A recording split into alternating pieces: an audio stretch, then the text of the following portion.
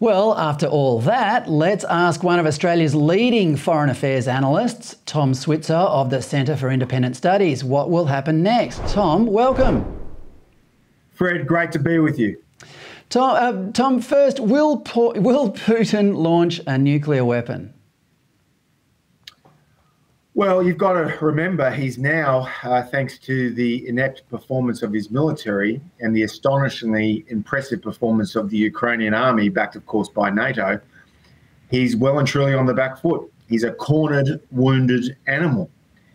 And um, if he's poked and provoked, there's no telling what he'll do. So it's not inconceivable that he, he might use tactical nuclear weapons either against uh, a NATO a country in Europe or against um, Ukraine. It's not altogether clear, but he's made it very clear that he's not bluffing. Well, the the strength of his nuclear weapons um, varies a lot. What would you? What, what strategy do you think he would use if he did go nuclear? Well, I think the first thing he'd do before he contemplates nuclear weapons would be to wipe out the electrical grid in Ukraine.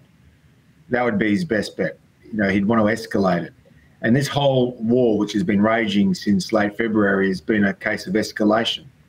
So he's been attacked by the Ukrainians with this bridge explosion, presumably, and he's upped the ante by now launching missile strikes across Ukraine, and that'll force the Ukrainians to up the ante and and so on and so forth. So um, uh, I think he'd probably be more likely to wipe out the electrical grid in Ukraine before he used nuclear weapons.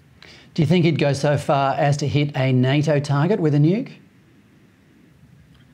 I think it's unlikely, but um, you know, it's the 60th anniversary of the Cuban Missile Crisis. We haven't really been at this stage where the world is teetering on the on the edge of a, a nuclear war um, in 60 years.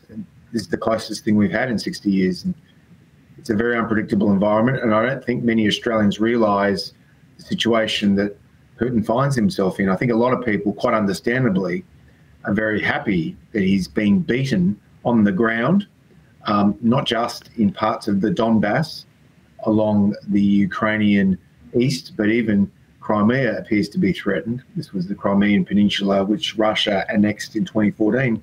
That's also now vulnerable.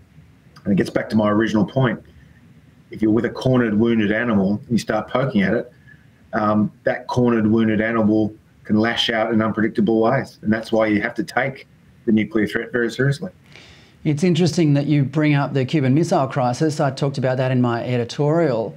Uh, that mm-hmm. um, Joe Biden invoked that in a speech on the weekend, uh, which he, I don't think he, he knew he was being recorded or, or it was being, uh, you know, written down, but he did invoke it. and, a fundraiser, wasn't it? Sorry? It was a fundraiser at uh, James Packer's house in New York. Oh, I didn't know there was an Australian connection.